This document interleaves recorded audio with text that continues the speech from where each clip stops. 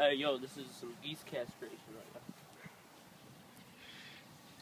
Special ed kids gone wild.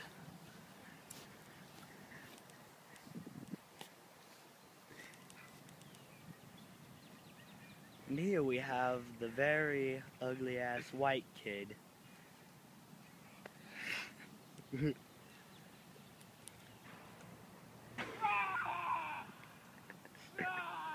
it's gonna kill him. He's standing there with all some crack. Fuck, kill it.